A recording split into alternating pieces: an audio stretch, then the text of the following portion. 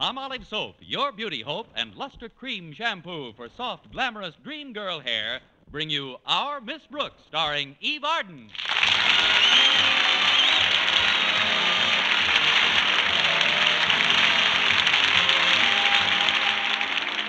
Our Miss Brooks teaches English at Madison High, and though she's fond of her work and her pupils, these last few days have been rather hectic. In fact, she's even had to neglect her favorite faculty member, biology teacher Philip Boynton. And when I have to neglect Mr. Boynton, you can be sure things are hectic. Of course, like most scientific men, he's rather preoccupied. But he doesn't spend all his time looking at frogs and white mice in his laboratory. No, indeed. Every Friday he goes to the zoo and looks at frogs. But in spite of his apparent absorption in scientific matters, I can't help feeling that deep down underneath there's a definite lack of interest in me. But I keep trying. Now, take this past week, for example. I had to get the midterm examinations ready, but I wanted desperately to get my work done by Thursday afternoon so I could keep a date we had for that evening. But maybe I'd better start at the beginning. Thursday morning, my landlady, Mrs. Davis, woke me promptly at 7.30. Oh, Connie, it's 7.30. You've got to get up. Come on in, Mrs. Davis. Time to rise and shine, my dear. Oh, I may rise, but you'll have to get your own shine. I'm glad you got me up on time, though. Maybe I can make up a few questions before my first class. I don't think you should do anything before you finish your work at school. You've been going at this midterm examination too hard, Connie. I don't like to scare you, but I'm worried about your health. Oh, it's sweet of you to take such an interest in me, Mrs. Davis, but work doesn't bother me. I'm healthy as a horse. Well, just the same, overwork isn't good for anyone, even a horse. You wouldn't want to get. You wouldn't want to get gray around the mane, would you? Oh. Heaven forfend. But I figured I'll be all right if I keep my fetlock shampooed regularly. uh, luster cream shampooed, that is. You've got to build yourself up, Connie. Here, I've brought you some juice to drink before breakfast. Taste it and tell me what you think it's made of. I should know better, but here goes. oh, oh, that's stronger than usual. What's in it, Connie? Well, I would say you took a raw potato, one hard boiled egg, some rye crisp, a cup of kidney beans, and some spinach, and threw them into the mixmaster. You're slipping, dear. You forgot the hominy grits. I think I'll skip the juice this morning, Mrs. Davis. I've got to hurry. Walter Denton's picking me up in his car. Oh, is yours in the shop again? Oh, definitely. But the repair job this time won't cost me as much as the fine I had to pay. Twenty dollars for parking. Twenty dollars? Where in the world did you park? The lobby of the Stevens Hotel. But how did you ever get in there? Just like anybody else, through the revolving door.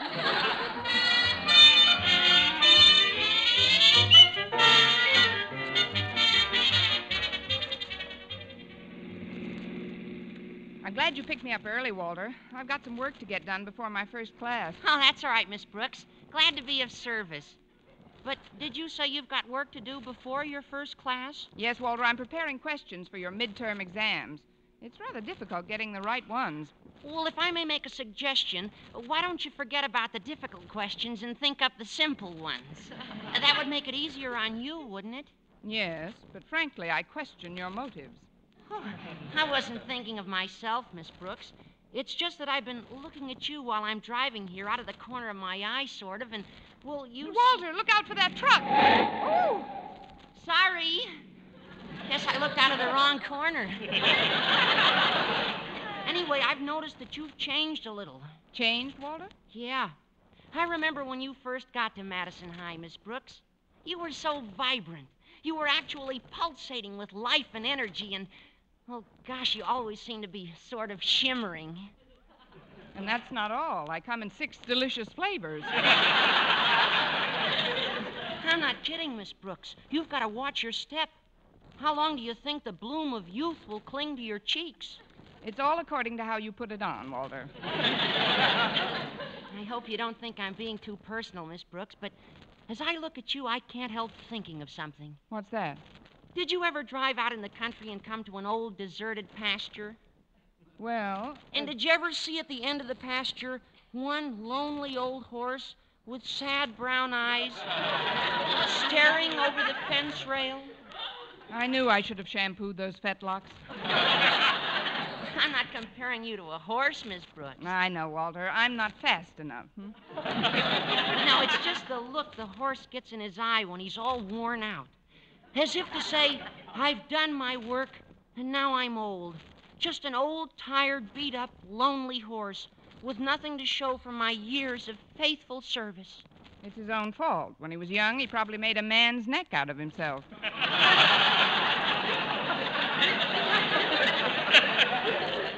I appreciate your interest in me, Walter, but believe me, I'm not ready for the glue factory yet. I hope you're not offended, Miss Brooks. Oh, of course I'm not, Walter. You know how I feel about you. Gosh, I think you're a thoroughbred. I mean, I just don't want you to get run down. I won't, Walter. I'm used to hard work. I've been working since I was a young girl. Really? I didn't think they let girls work way back in those days. Oh, that is, what kind of work did you do then? I helped my mother mostly. They had mothers in those days, too. What did you do for your mother? While Father was out hunting dinner, I used to help clean up our cave.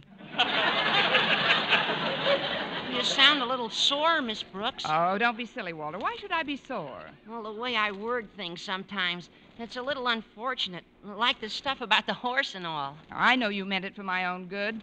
Forget it, Walter. I have. Well, here we are. I'll find a place to park, Miss Brooks. You go ahead. Thanks, Walter. Oh, before you go, Yes, Miss Brooks? got a piece of sugar?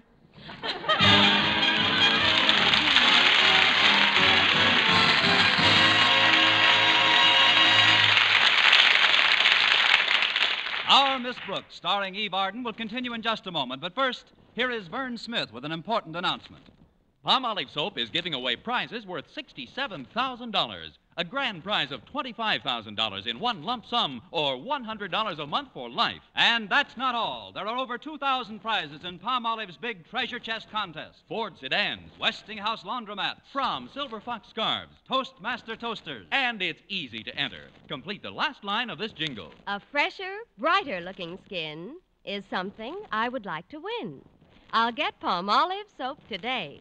Da da da da da da da da. Write your last line on a plain sheet of paper or use an official entry blank giving complete rules obtainable at your dealers. Include your own and dealer's name and address and mail with the big word Palmolive from the front of the wrapper of one regular and one bath size cake of Palmolive soap to Palmolive, Box 92, New York 8, New York. Now, here's the jingle once more. A fresher, brighter looking skin is something I would like to win.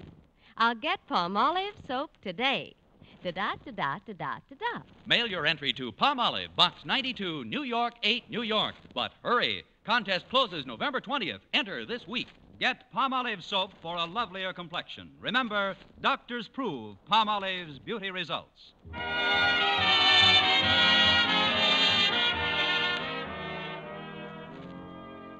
Daddy, you're the principal of this school, and you've got to do something about it. About what, Harriet? About what I've been talking about.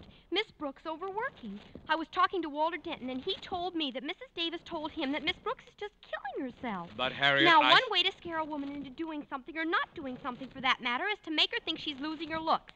And another way is to get her interested in doing something other than the thing you want her to stop doing. It's as simple as that. That isn't simple enough. What are you talking about, Harriet? Look, Dad. We've got to try and get Miss Brooks interested in something outside of schoolwork. Now, I'll talk to Mr. Boynton first. Then, as soon as I find Miss Brooks, I'll send her in here to talk to you. Agreed? Absolutely not. Good. I knew you'd see it my way.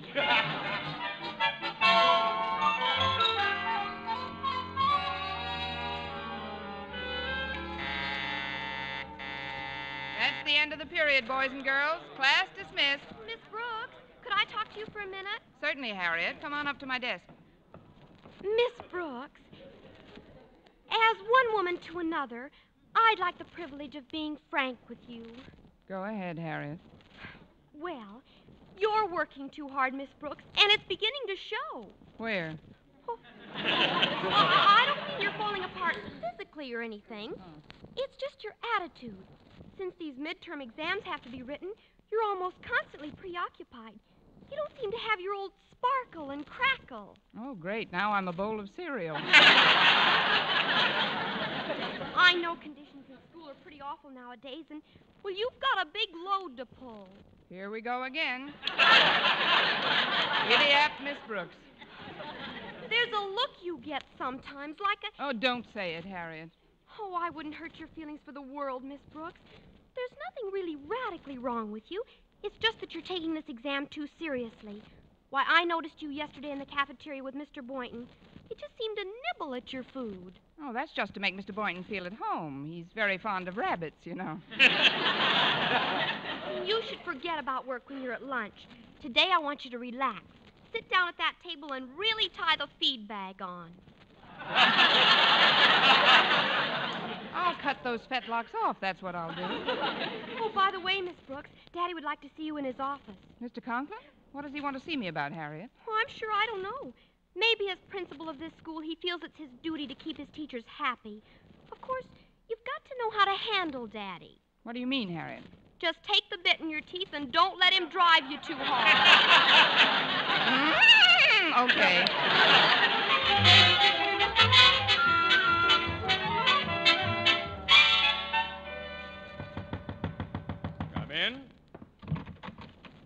it's you, Miss Brooks. Have a chair. Thank you, Mr. Conklin. I was just finishing this report from the school board. Will you excuse me for a moment? Certainly, sir.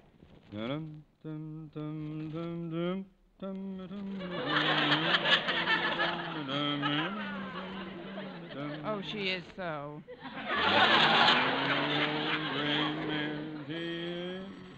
Excuse me, Miss Brooks. Hello? Hello. Is that you, Osgood? Oh, yes, my dear. I'm glad you got my message to call me back. I just wanted to remind you that this afternoon we're going, uh, you know where, for tea. Oh, you mean to Mrs. Davis's? I haven't seen Margaret in ever so long. Miss Brooks will be there too, won't she? Yes, Martha, that's the purpose of the little gathering, to help that party get her mind off. Well, that is, uh, she's been working quite hard lately, and she looks like. That is her face. She- Confound it, Martha, I can't talk now. Oh, sure you can, Mr. Conklin. Just make believe I'm deaf, too. I'll call you later, Martha. Goodbye. Goodbye, Osgood. Oh, uh, just one thing. Yes? If you see Miss Brooks, don't say anything about our dropping in today. Let's surprise her. Yes, Martha. Goodbye. that was my wife. She sends her regards, Miss Brooks. Oh, thank you, Mr. Conklin. No doubt you're wondering why I sent for you. Well, I'll be brief. During the war, my outfit had the most consistently high morale of any unit in Camp Bobrick, Ohio. Now, what has all this to do with you, you ask? A reasonable question. What has all this to do with you? I really don't know, Mr. Conklin. Of course you don't. Now, take the time we ran out of ping pong balls. It was nobody's fault. As supply officer in charge of the post exchange, I had discharged my duties faithfully. But still, there it was. No ping pong balls. there were murmurings from the men. Muttering and discontent swept through the recreation hall. But I refused to be thrown into a panic. Do you know what I did, Miss Brooks? I made those men use their heads. Weren't they a little big for pong? I mean, uh, how, Mr. Conklin? By finding another hobby. And that's what I called you here to tell you, Miss Brooks. You've got to find a hobby. Oh, but I have a hobby, Mr. Conklin. Oh, what is it? Collecting a biology teacher. Uh, that is, Mr. Boynton and I go to the zoo every Friday. I'm afraid that isn't enough of a change for you, Miss Brooks. No, what you've got to do is learn how to relax. Have a good time. Oh, but Mr. Conklin. Don't I- interrupt. You've got to concentrate on some outside interest, Miss Brooks. Fun. That's what you've got to have. Fun and gaiety. You've just got to enjoy life more. Be merry. Laugh. Laugh! I don't know just what sort of form your hobby should take, but you've got to get one. You've got to, Miss Oh, Brooks. please, Mr. Conklin, remember your blood pressure. Uh. I'll get one. I'll have a ginger peachy time. I'll go to Arthur Murray's. I'll do something. You wait and see. Good. Good. That's all I want, Miss Brooks, for my teachers to be happy. Contented and happy, not nervous. I don't want a school full of nervous wrecks. You hear me? No nerves, no long faces. Do we understand each other? Do we? Huh? Do we? Before I go, Mr. Conklin, yeah? may I make a suggestion? What is it? Did you ever think of getting a hobby?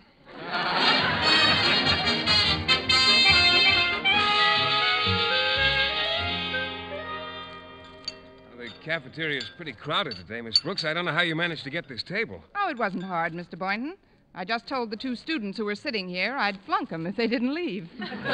Oh, you wouldn't do that, Miss Brooks. no, not actually.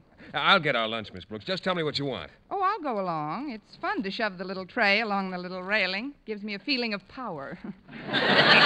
No, no, I'd rather you sit here and take it easy. I've noticed how hard you've been working, Miss Brooks, and now that I see you, uh, well, there's, there's something in your eyes lately that, well, I can't be specific, but they just seem to say. All these years of faithful service, and what have I got to show for it? Exactly. Mm-hmm. Now, I, I know you've got to get your exam questions set, but the race isn't always to the swift. You've been whipping yourself terribly. Oh, fine. Now I'm my own jockey. Now, I just want you to know, Miss Brooks, that if, if there's anything troubling you, anything at all, I'd be happy to have you cry on my shoulder. I'd rather laugh up your sleeve. I mean, laugh on your shoulder. Oh, look, Mr. Boynton, it's nice of you to be so concerned, but there's nothing wrong with me. You're right. There, there isn't a thing wrong with you that a good hobby won't cure. Yes, I know. And I've thought of a wonderful hobby. What's that, Miss Brooks? It's called short ribs of beef and boiled potato. Would you get me some? Why, certainly. You hold our places here, and I'll be right back. Okay, Mr. Boynton. Well, let's see now. Where's that book of questions in English Lit? Maybe I can get a little work done while I'm waiting. Hi, Miss Brooks. Eat lunch yet? No, Walter, but Mr. Boynton's getting me some. Oh, then I won't sit down. Good. Have you seen Harriet Conklin? No, not since this morning, Walter. Uh, she seems to have noticed my disintegration, too. Really? Mine has been the swiftest decline since the fall of the Roman Empire. Tell me something, Miss Brooks. Did you ever collect stamps? no, I never did. Then you're in for a treat. See you later with my album. We'll put in a few hundred new specimens I just got. A few hundred. Oh, look, Walter, I'm allergic to mucilage. You better stop at the delicatessen and pick up a spare tongue. Yeah. Well, so long, Miss Brooks. I'll see you after school. So long, Walter. Oh, what's the use? I'll just have to lock myself in a room if I want to work. Hello, Miss Brooks. Have a nice chat with Daddy? Yes, Harriet, a nice apoplectic tete-a-tete. Your father told me to get a hobby. Have you hit on one yet? No, not yet. Oh, I'm glad. I've got one you'll just go mad for. Patternless crossword puzzles. I'll bring a big super special one over this afternoon. See you then, Miss Brooks. Goodbye, Harriet. And goodbye to my date with Mr. Boynton tonight. Oh, did someone mention my name? Oh, hello, Mr. Boynton. Say, those short ribs look good. Yes, they do. I hope you like to eat them the way I do. Plenty of horseradish. Don't mention it.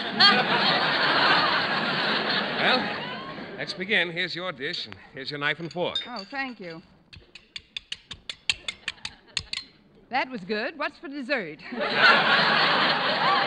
Brooks, you, didn't bolt your lunch down already. I'm afraid I did, Mr. Boynton. I've got to get some work done before my afternoon classes. Well, this is terrible, Miss Brooks. You're, you're all keyed up. Look, do you play chess? Not if I can help it, Mr. Boynton.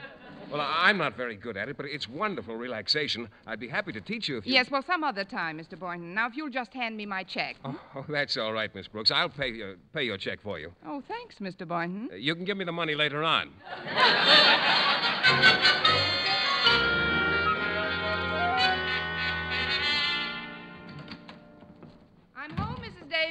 Davis. Yoo-hoo, Mrs. Davis. I'm in the living room, Connie. Come on in.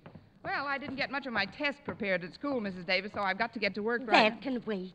I've got the yarn right here and two sets of extra large needles. Just look at them. My seconds will call on you at dawn. what in the world are those foils for, Mrs. Davis? I'm going to teach you to knit.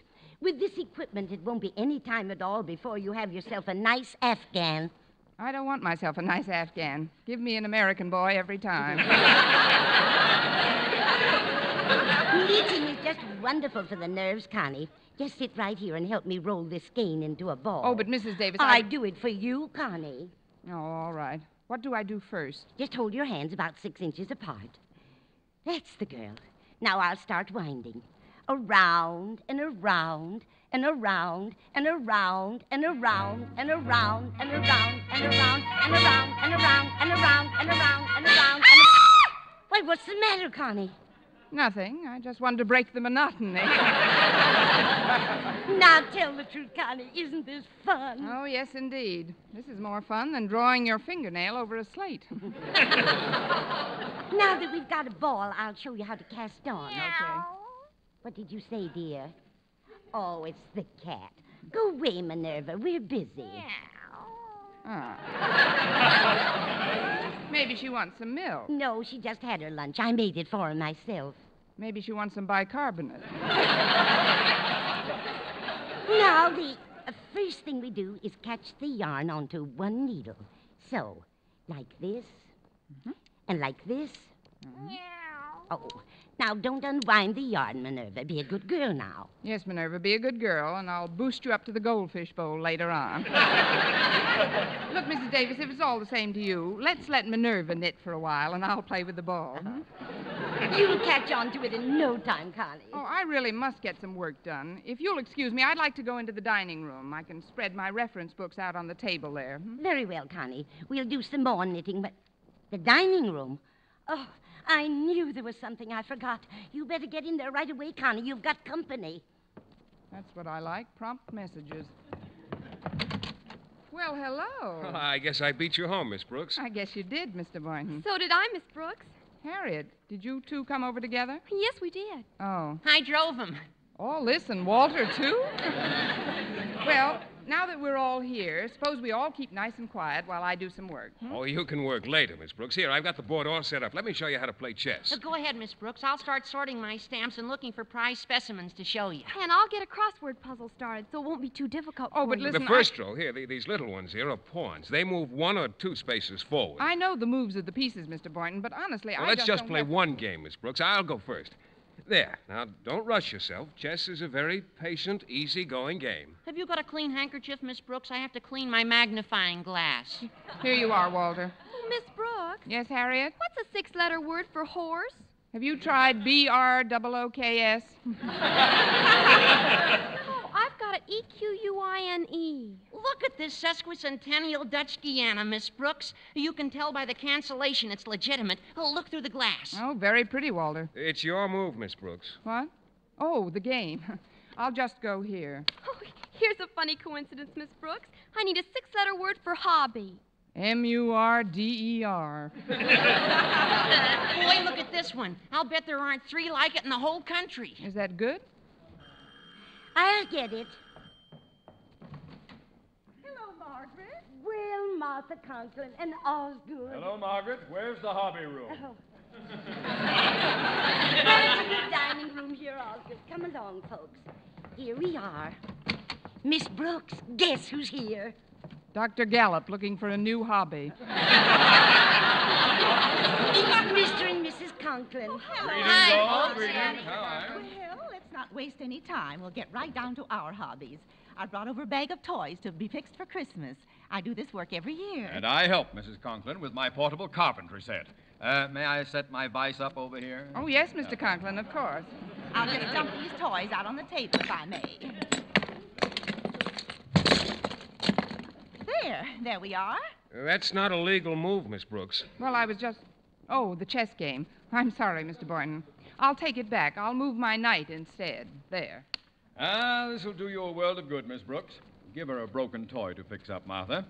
Think you'd like to stuff a few dolls, Miss Brooks? I just love to stuff a few dolls, Mr. Conklin. Before you do that, Miss Brooks, take this glass and look at this early Cameroon. What's a four-letter word for purgatory? Harriet. Well, that's got. that's got seven letters. Oh, you mean Harriet? The, the knight can only go two squares vertical and one diagonal. Oh, look at this cute little mechanical man. He can walk and everything. I'll just wind him up. Yeah, give me some of those pull toys to plane down, Martha. Here you are, dear. Are you having fun, Miss Brooks? Oh, loads, Mrs. Conklin, but would you call the little mechanical man back? He's biting my knitting needles. His electric drill's a beauty. Oh, I think it was a wonderful idea, Daddy, our having a hobby afternoon together. Oh, so do I, Osgood. It's so entertaining. Sure takes your mind off things. I'd better saw some of this down here. What do you mean, Mr. Boynton? The knight can only move two squares vertical. Oh, here's an awfully cute little wagon. It'll be as good as new when we fix the bell. There.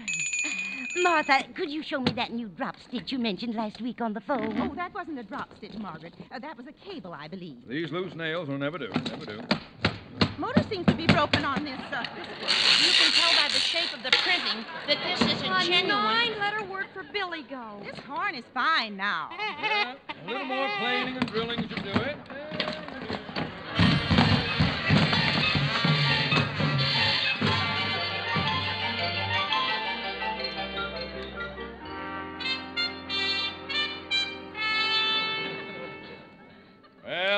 Well, that does it. The last toy is fixed. Yes, and the dolls are all stuffed and painted. it's been a lovely afternoon, Mrs. Davis. Thank you, Osgood. It was nice to have you over. Well, the main thing, of course, is that we were able to interest Miss Brooks in something that could take.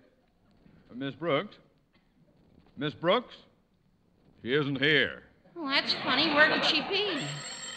I'll answer it.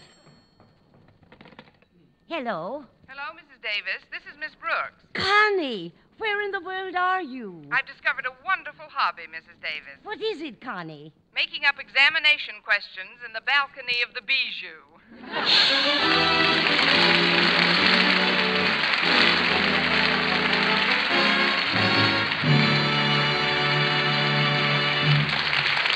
Eve Arden as our Miss Brooks returns in just a moment. But first, Dream Girl, Dream Girl, beautiful luster cream girl. Tonight, show him how much lovelier your hair can look after a Luster Cream shampoo. Only Luster Cream brings you Kay Daumit's magic formula blend of secret ingredients plus gentle lanolin. Gives loveliness lather even in hardest water. Glamorizes your hair as you wash it. Luster Cream, not a soap, not a liquid, but a dainty cream shampoo. Leaves hair fragrantly clean, free of loose dandruff, glistening with sheen, soft, manageable. Gives new beauty to all hairdos or permanents. Four ounce jar, one dollar. Smaller sizes, either tubes or jars. Tonight, try Luster Cream Shampoo and be a Dream Girl, Dream Girl, beautiful luster cream girl. You owe your crowning glory to a luster cream shampoo. And now, once again, here is our Miss Brooks. Well, I didn't get many questions done, but I did see Rita Hayworth in Loves of Carmen. I knew, of course, that with the examination questions still to be done, I'd have to cancel my date with Mr. Boynton. But that was almost inevitable from the beginning. When I finally reached home, I knew I'd have to buckle down. So I headed right for the dining room, opened the door, and turned on the light. Of course, you can move the knight two horizontal. Why, Mr. Boynton, if I'd known you were still here, I'd never have turned the lights on.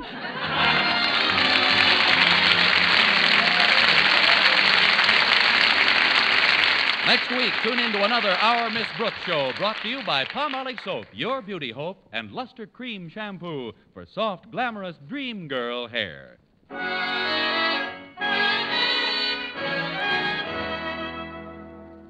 Dentists know what cleans teeth best, and over 4,000 dentists say Colgate tooth powder with a two minute routine gets teeth sparkling and super clean. So to remove dull film and get your teeth shining clean, just brush teeth two minutes morning and night with Colgate tooth powder. Brush inside, outside, and biting surfaces. Always brush away from the gums. See how quickly this gets teeth naturally bright. It removes dull film that improper brushing misses. And Colgate tooth powder also sweetens your breath. Try it. Buy Colgate tooth powder today.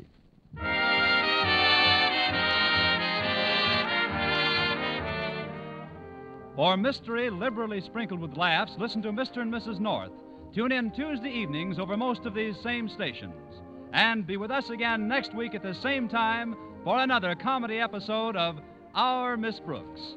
Bob LeMond speaking. This is CBS, the Columbia Broadcasting System.